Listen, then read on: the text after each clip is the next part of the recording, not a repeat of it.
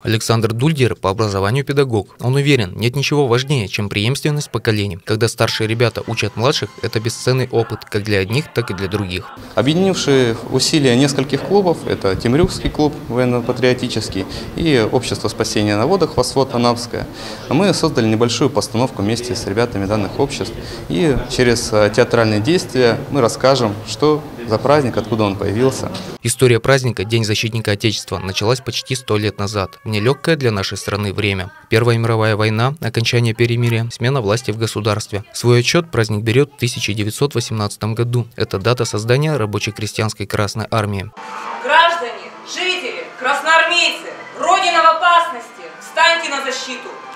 Не дайте погибнуть. Знать историю своей страны должен каждый, убежден член клуба «Юный Восводовец» Владислав. Сам он с 9 лет вместе со своей организацией занимается общественной деятельностью, а выступить для малышей считает своим долгом. Мы должны проявлять э, патриотизм к своей родине, и чтобы на всякие случае они встали на свою защиту, на защиту своей родины. Мероприятие для зрителей организовали красочно. Помимо гостей, военно-патриотических клубов и представителей казачества, выступили и сами воспитанники для своих родителей и поздравили всех с наступающим праздником.